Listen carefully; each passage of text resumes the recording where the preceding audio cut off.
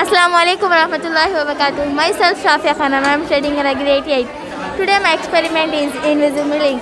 The ingredients needed onion juice, milk, lemon juice, vinegar, candle, mastic box, paintbrush, paper.